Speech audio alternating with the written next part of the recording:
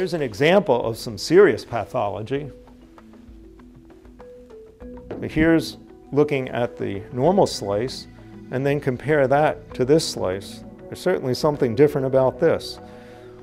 Here we see reddened brownish areas that represent a hemorrhage that started in the thalamus, spread out into other regions of the brain called the basal ganglia, and then spread into the ventricle. So that's all blood. That happened to someone who had high blood pressure that was untreated. And eventually, blood vessels in the wall of those little arteries deep in the brain weakened, and blood came out and caused paralysis and loss of feeling on one side of the body. And um, of course, this person, um, as you can imagine, um, did not survive that injury. Something like this can happen with a severe head injury, where someone's on a bicycle, falls off, or on a motorcycle, falls off, and isn't wearing a helmet. And that the impact against the skull and a fracture of the skull can lead to hemorrhages in the brain as well. Let's look at another kind of pathology. So now I'm going to take a slice of the brain in this direction, from top to bottom, or coronally. And so I'll pull that slice out from right about here. And what we see here is um, the cortex, where all the neurons live. They're about 100,000 for every um, cubic millimeter, meaning that we have tens of billions of neurons within uh, the brain in different regions. And this is kind of an area that represents the leg. This is an area that represents the arm for movement. We see here a little bit of the brainstem. No, look how nice and smooth and well formed this is. Compare that to the brain here, where a person suffered a brain tumor called a glioblastoma, a primary tumor of the brain. And you can see now that instead of this nice, smooth, glistening tan surface, what we have here are regions of hemorrhage, breakdown of, of um, tissue, and this is tumor all in here, not only on the left side of the brain, but as well traveling across to the other side of the brain. Um, and this person, of course, eventually died as more and more of the brain was filled with tumor. There are treatments for this now that are better than at the time this happened uh, many years ago. Um, but this is still an area of great study trying to prevent and, and manage uh, brain tumors.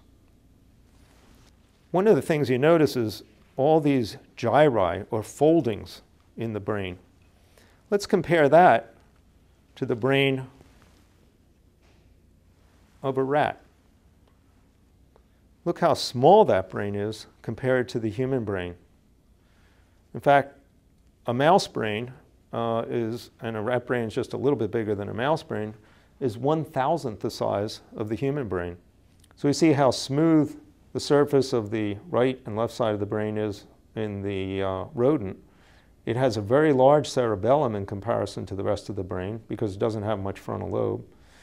And if we turn the brain over, we can see here the brain stem and the spinal cord. We also see these little areas in here that are for smell.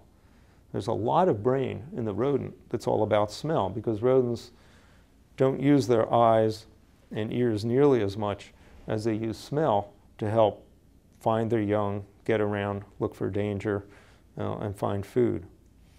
So there's been an enormous evolution of complexity in the brain between the rodent and the human brain. Now, how is it that we make a movement, like reaching for a cup or walking? I mean, these are some things that we take into everyday account, pay no attention to, unless, of course, we become disabled and it's more difficult to use an arm or a leg. Well, think about reaching to grasp for an item. Um, your brain already knows something about the weight of that item, the shape of that item, um, and the context of, of, of where that item appears in your life. For example, if I held up a ball and you went to reach for that ball, um, you would recognize it perhaps as a ball because it uh, looked like a hard ball that you'd seen before.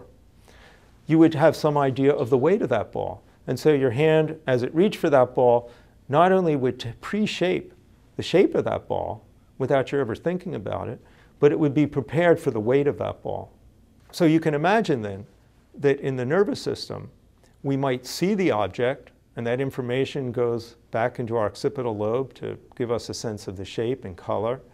But that information has to be distributed to other parts of the nervous system, to the centers for movement, to the centers for recognition of what the item is, for the centers of our past experience about such items, before we actually go ahead and reach for it safely. We do this thousands and thousands of times a day, reaching for common or uncommon objects. This is a high level function of the brain.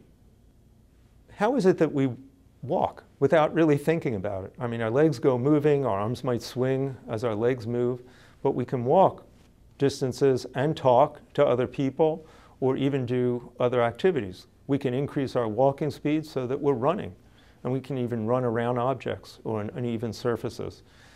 Well, this takes a tremendous amount of brain activity. The idea of walking is sort of conducted by the cortex, the, the movement areas of the brain um, up in those frontal lobes and parietal lobes. And they sort of say to lower centers that can make automatic or flexion extension movements that we might think about as stepping, uh, to do that based on structures that are deeper in the brain that can do that automatic flexion and extension. But if we are on uneven ground, the brain has to work a little harder and capture information from our senses, carry them to our muscles, get that information up to the brain so that we can adjust our movements so that we don't fall or twist an ankle. On the other hand, if you're a basketball player and you're running down the court and you want to pull up and take a jump shot, now we're talking about combining our vision, space, and what people are doing around us, trying to keep us from taking that shot, movements of the arm that have been highly practiced to try to throw the ball in the basket, but also running, stopping, jumping. Highly difficult uh, activities that take lots of practice and become major skills. So in a sense then, what we can say is that we have certain basic automatic movements that even a baby can make, but it takes time and practice and, and maturity of the nervous system to be able to turn those into the kinds of skillful movements uh, that we bring into our daily life.